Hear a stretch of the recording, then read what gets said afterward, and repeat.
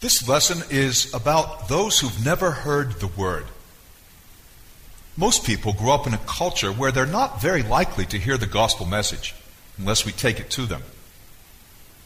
There are more than a billion Hindus in the world, well over a billion Muslims. And again, more than a billion live under governments that are atheistic or secular, or which actively suppress religion. To make it worse, even in the so called Christian lands, the gospel has been so distorted, so diluted, and so called Christians often live lives so far from what the Master taught that potential seekers are turned off. Given that the vast majority of mankind is not hearing the word and may well die without hearing it, is it unfair of God to hold everyone accountable? Well, of course, if we were put into an impossible situation, no, it wouldn't be fair. And yet, we believe that God is just, and that's where we have the problem. If you and I did not accept the justice of God, then the lostness of the world would take on a very different color. And yet, if we are responsible for our choices, for our wrongdoing, then to blame God for us not hearing the saving message is to go too far. After all, it isn't only people in the so called Christian lands who envy, lie, cheat, fornicate, hate, and so forth. Sin is absolutely everywhere. We were not put into an impossible situation. We put ourselves into it. I think it's something like a drowning man. Perhaps pride led him to overconfidence. He went too far out, or in water too rough.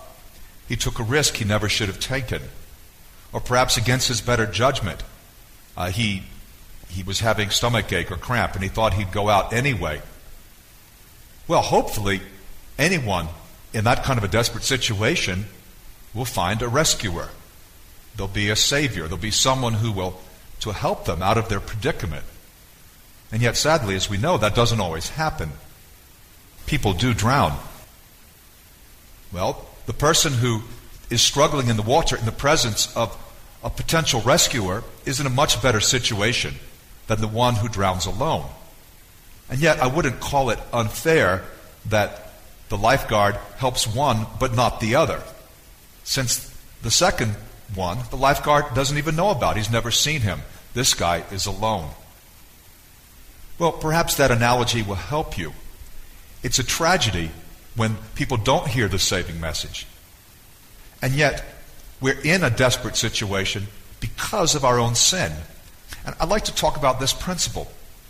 I think this is uh, very important. The liberal secular world does not even think in terms of sin. They think in terms of perhaps wise choices or foolish choices, or actions that we undertake because we're led to or influenced to take them through genetics. And yet, the Bible paints a very different picture that there is an absolute moral code, right and wrong, and that we are responsible for our choices. Even if they're influenced by others, ultimately it's our call. We're like Eve and Adam. We make a choice.